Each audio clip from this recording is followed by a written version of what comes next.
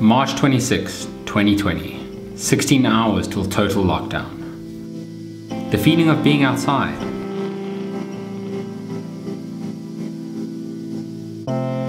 The small pleasures we always took for granted. Going for a hike on the weekend. Going for a walk or an ice cream on the beach. The things we can't do anymore. All I know is we will emerge from this time more thankful than before. All we can do now is play our part. Take care of ourselves, keep our spirits high, and support the ones that need it most by staying away.